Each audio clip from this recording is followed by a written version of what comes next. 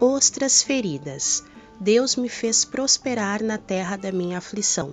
Gênesis 41, 52.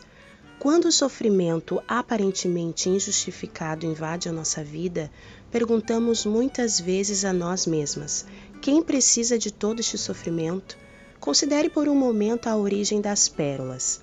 Cada pérola é formada pela reação interna da ostra quando ferida por algo irritante, como um grão de areia.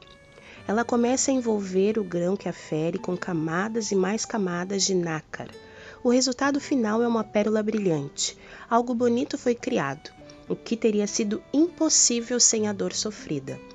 Na leitura bíblica de hoje, vemos José numa posição de influência, uma posição que Deus usou para alimentar as nações vizinhas e a sua própria família durante a época de fome.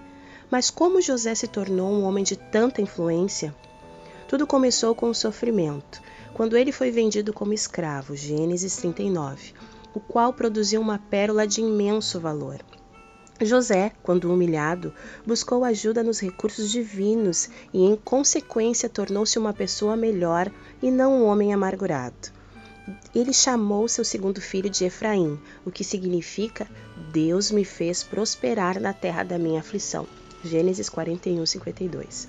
O autor Paul Billemer, ao escrever sobre José, afirma: se a compaixão humana o tivesse livrado da parte triste da sua vida, a parte gloriosa que se seguiu não teria ocorrido.